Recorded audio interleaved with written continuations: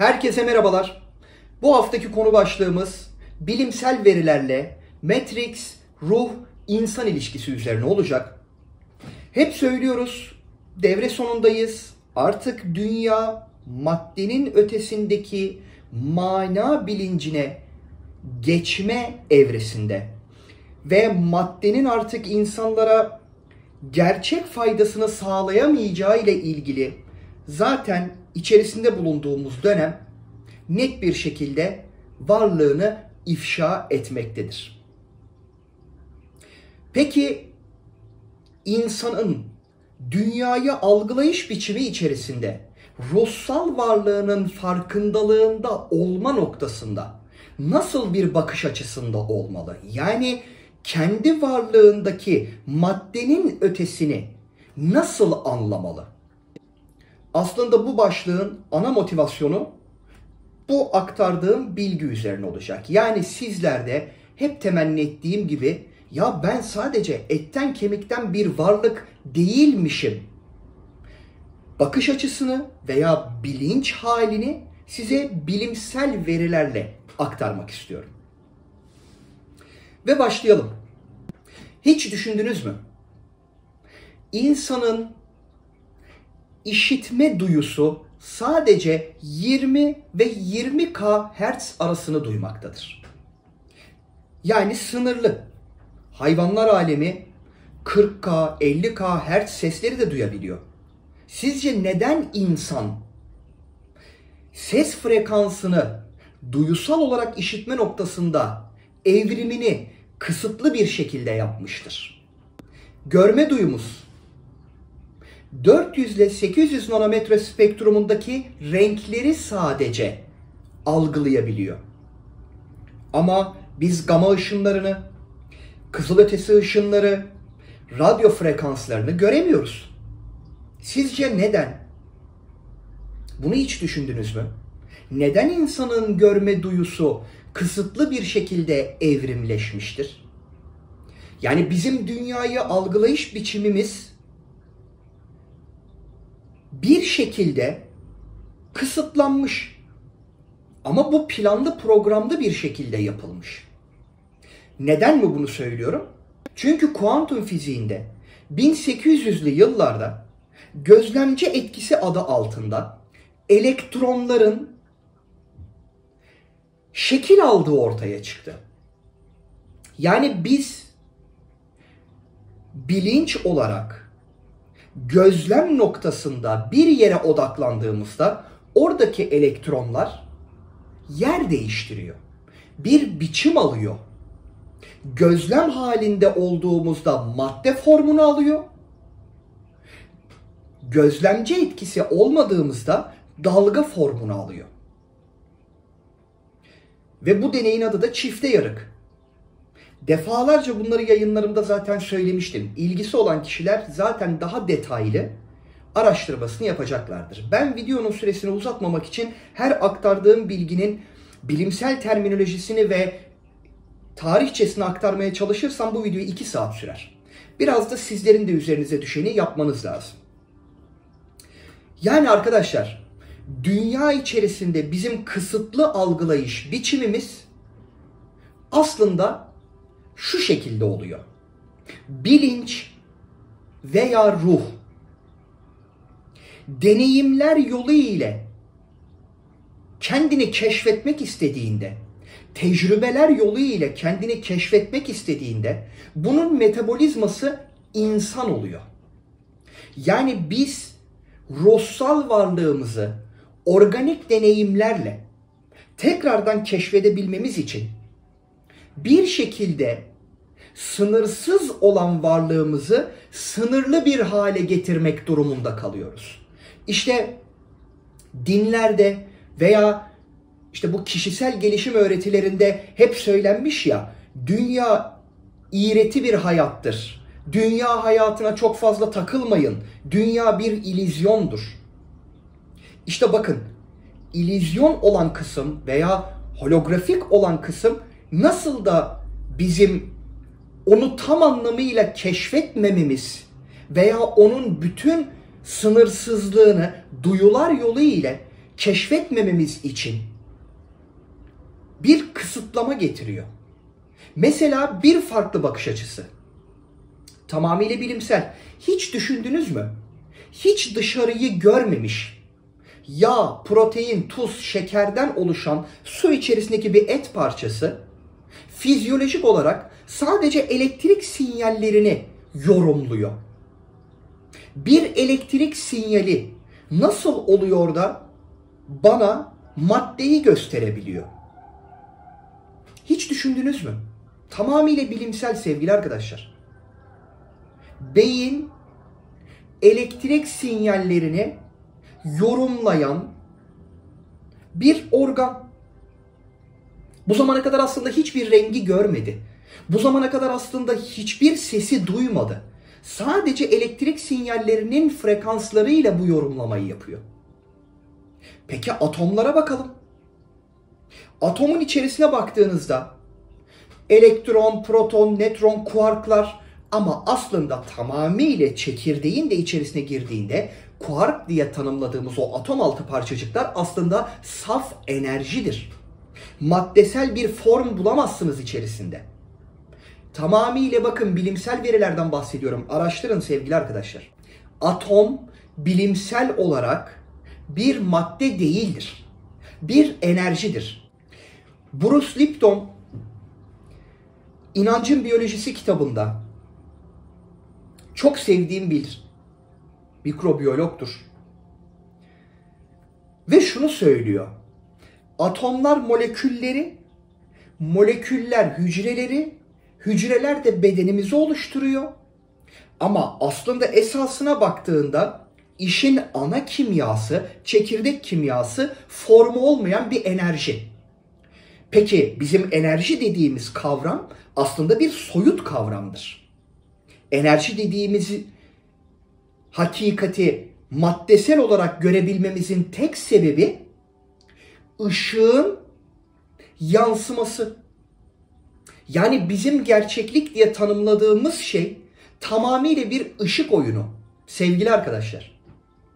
Bakın bastıra bastıra söylüyorum. İçerisinde bulunduğumuz dünya hayatı bir simülasyon, bir ilizyon, bir matrix'tir. Ve size bilimsel verilerle bunu anlatıyorum ve açıklıyorum. Ve bunu yapmamın sebebi sadece maddesel bir varlığınızın olmadığını, bir bilinç varlığı, bir enerji varlığı olduğunuzun farkındalığında size bir düşünce alanı yaratmaya çalışıyorum. Bakın Nikola Tesla diyor ki metafizik veya maddenin ötesindeki hakikatlere gerçekten bir ilgi alanı oluşturursak yüzyıllar boyunca keşfetmediğimiz bilimsel verileri keşfedeceğiz. Ve bunun da üzerine diyor ki eğer evrenin sırrını anlamak istiyorsanız enerji, titreşim, frekans cinsinden düşünerek bu evrensel varoluşu yorumlamanız gerekiyor. Ve bu söylediğim kişi hala dünyada en fazla patente sahip ve dünyadaki bütün elektrik sistemini, kızılötesi sistemleri var etmiş kişi. Boş konuşmuş olamazlar herhalde değil mi? Daha öncesinde de bu örneği vermiştim. Deepak Chopra'nın bir soru cevap yayınında bu örneği paylaşmıştı. Fikirleri ve bakış açısı benim de bu ilgilendiğim ve yürüdüğüm yolda gerçekten güzel yönlendirmeler yapmıştır hayatımda. Şu anda biz sizinle soru cevap yapamıyoruz ancak söylediğimde en azından biraz ince düşünürseniz vermek istediğim mesajı anlayacağınızı düşünüyorum. Şimdi ben size desem ki 3 ay önce salı günü öğlen ne yemek yediniz? Kaç kişi hatırlıyor? Ama yaşadık. Ama zaman kavramı bakın öyle işliyor ki yaşadığımız veya hayatımızda etki yaratmamış alanlar kayboluyor. O anda yemek yiyoruz. Bizim için çok doğal bir akış. Unutuyoruz, geçiyor gidiyor. Ama aslında o deneyimin içerisindeydik. Ama bizde bir travma yaratacak veya ruhsal olarak bir sıçrama yaratacak herhangi bir olay yaşadığımızda kaybolmuyor. Unutmuyoruz. Hatta öyle travmalar yaratıyoruz ki yıllar boyunca onları kendimize adeta yoldaş yapıyoruz. Yola devam edemiyoruz. Bir örnek daha. Yıl 2023. Hala zihnin, beynin ve bilincin sınırsızlığı üzerine çok ciddi çalışmalar yapılıyor. Ama gelinen nokta hala arkadaşlar yüzde beş bile değil. Bunu bilim insanları söylüyor. Ben şu anda 36 yaşındayım. Şu anda fiziksel bedenimi terk etsem ve bunun adına ölüm diyelim. 36 yıllık bir data var benim beynimde normal olarak değil mi? Yani 36 yıllık bir işitme, 36 yıllık bir görme, 36 yıllık bir tat alma. Ya bunların hepsi benim hafızamda. Ben annemi, babamı veya eşimi gördüğümde tekrardan onlarla bir tanışma ihtiyacı hissediyor muyum? Veya siz ailenizden birilerini, dostunuzu, arkadaşınızı gördüğünüzde onlarla tekrardan tanışma ihtiyacı hissediyor musunuz? Hissetmiyorsunuz. Neden? Çünkü hafızanızda o bilgi mevcut. Veya eşiniz size telefon açtığında telefonunuzda kayıtlı olmasa numarası onu sesinden tanırsınız. Sen kimsin diye sormazsınız. Bir hafıza var doğru değil mi? Peki arkadaşlar bilincimizi zorlayacağımız yer burası. Terabaytlarca datayı benim beynimi bir laboratuvarda alsalar, inceleseler, parçalasalar, bölseler, terabaytlarca 36 yıllık bu hafızadan bir görüntü alabiliyorlar mı? Bir ses dosyası çıkarabiliyorlar mı? Veya en sevdiğim yemeğin tadı aa buymuş deyip de rahmetlerin en sevdiği yemek buymuş diyebiliyorlar mı? Diyemiyorlar. Peki size soruyorum. Nerede bu birikim? Bu hafıza nerede? Nasıl hatırlıyoruz? Tamam beynin belli bir noktasında işte elektrotlar bağlıyorlar. O elektrotlarla tepkilere orada ekranda frekans karşılığını görebiliyorlar. Bu görülen sadece biraz önce söylediğim elektriksel yani nörolojik sistemdeki karşılığını görebiliyorlar. Bir imaj veya fotoğraf alamıyorlar. Ve tekrar ediyorum nerede bu data? Ruhsal varlığımızda sevgili arkadaşlar. Hep söyledik. Bizler ruhları olan bedenler değiliz. Beden kıyafeti giymiş ruhlarız, bilinçleriz. Tekamül edebilmek için bu ilizyonun içerisine girerek tanrısallığımızı unutmamız gerekiyordu. Tanrısallığımızı unutarak ancak tanrısallığımızı hatırlama noktasında organik deneyimlerin içerisine girebilirdik. Bunu biz yarattık. Mesela bir örnek daha verelim. Neden astral seyahat yapabiliyoruz? Bu yayını izleyen kişiler arasında yapabilenler olduğunu düşünüyorum. Ben bu bilgileri çok fazla konuşmam ama yeri geldiği için söylüyorum. Defalarca deneyimledim arkadaşlar. Hadi astral seyahat çok ruhsal bir fenomen geldi. Rüya neden görüyoruz? Rüya neden görüyoruz? Soruyorum. Yani neden insan var olduğunda böyle bir ihtiyaca göre evrimleşmiş veya böyle bir ihtiyaç neden varlığına kodlanmış? Rüyalarda hep sınırsız oluyoruz değil mi? Çok fantastik şeyler görebiliyoruz. Kesinlikle gerçek olamayacağını düşündüğümüz şeyler görüyoruz ve o kadar kısa sürede sanki çok uzunmuş gibi yaşayarak tamamıyla bilimsel araştırın. Neden sevgili arkadaşlar? Neden? Neden rüya görüyoruz? Neden astral seyahat yapıyoruz? Bilincin veya insan varlığımızın, fiziksel varlığımızın ötesindeki bu fenomenleri neden deneyimliyoruz? Bu deneyimlemenin altında anlamamız gereken mesaj nedir? Hiç düşündük mü?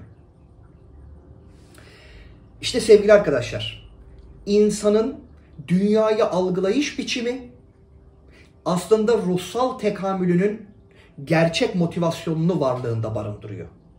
Ruh bilinçtir. Ve beden kıyafetiyle şu anda yaşadığımız hayat bir ilizyon Ve bedenler de bu ilizyon içerisinde, deneyimin içerisine girebildiğimiz avatarlarımızdan başka bir şey değil. Bu konuyu aktarmamın sebebi maddenin ötesindeki hakikatimizi anlamayla ve algılamayla ilgili artık bir çaba içerisine girmemiz arkadaşlar. İstemeden verilmeyecek. Hep konuşuyoruz ruhsal uyanış, ruhsal uyanış. Arkadaşlar ruhsal uyanışı yaşayabilmeyle ilgili adım atmayan hiç kimseye bu uyanış bilgisi gelmez. Çünkü bu bilgiler verilmez, alınır. Bakın tekrar ediyorum. Ruhsal uyanış dediğimiz açılım verilmez, alınır. Hediye edilmez, hak edilir.